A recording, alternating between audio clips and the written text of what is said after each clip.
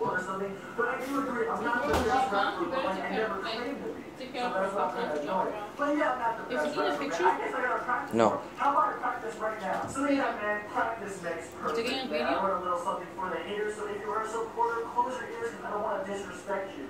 Uh, I usually rap to one person in particular, but this is for the mass audience of the eye.